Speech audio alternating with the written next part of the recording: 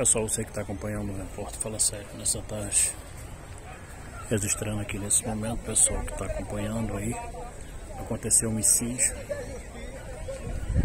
aqui no, no campo da Grotinha, a gente registrando aqui, o nome, o apelido é Cabeça, todo mundo conhece ele, aqui do bairro da Grotinha.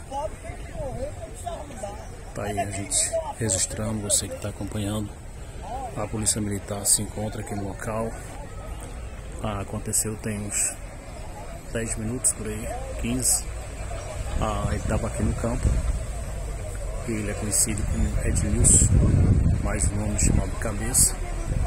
E a gente fazendo esse registro, você que está acompanhando a Rádio Jacobina FM 99.1. Aqui, ó. Sua informação, estava aqui no campo. É a gente fazendo esse registro nessa tarde.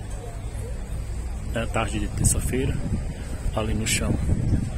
Tamanho, ele já está coberto já com pano.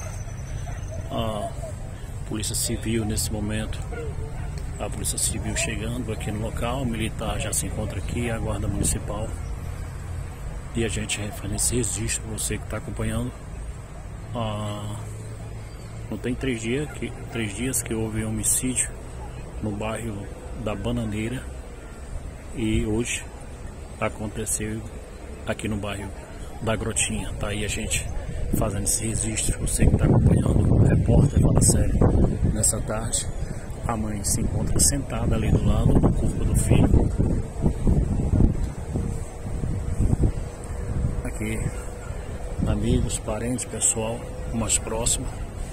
E, claro, a gente fazem esse registro de longe aqui para deixar você informado uh, do que está acontecendo, do que aconteceu.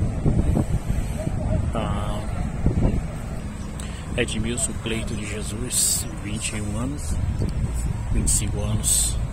Você que está acompanhando o repórter Fala Sério nessa tarde. A polícia técnica daqui a pouco está chegando com a Rabecão para recolher o corpo para o IML. A polícia